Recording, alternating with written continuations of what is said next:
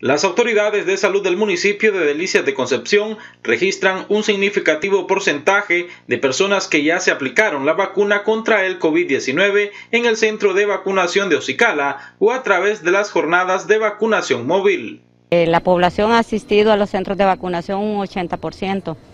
Así que invitamos, ¿verdad?, que todos estos que están pendientes, niños de 6 años en adelante, a que asistan a los centros de vacunación para que ah, reciban su dosis Igual, ¿verdad? Las personas adultas que no han ido por su, por su dosis de vacuna deben asistir. No tenemos que, que pensar, ¿verdad?, que la dosis de vacuna, cuando nos apliquen, vamos a fallecer. No. Lo que nos está haciendo la vacuna es la prevención de formas graves de la enfermedad COVID-19. Este día se desarrolló la segunda jornada de vacunación móvil en este municipio. En esta ocasión se habilitaron 100 vacunas Moderna y 60 Sinopharm.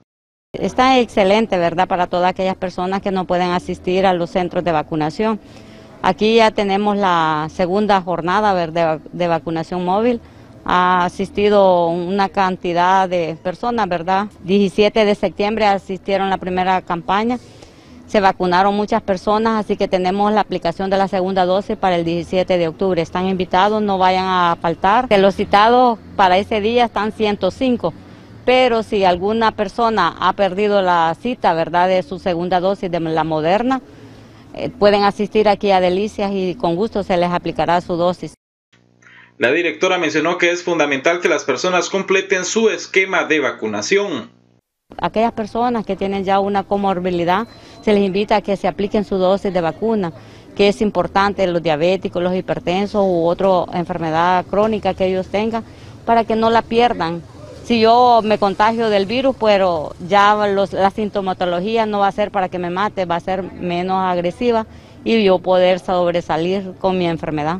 Según el Ministerio de Salud, este municipio de Delicias de Concepción, desde que inició la pandemia, ya cuenta con 75 casos de COVID-19. Actualmente se reportan más de 70 personas con sospechas de esta enfermedad. Por tal razón, instan a la población en iniciar o continuar con su esquema de vacunación, asimismo también seguir practicando todas las medidas de bioseguridad.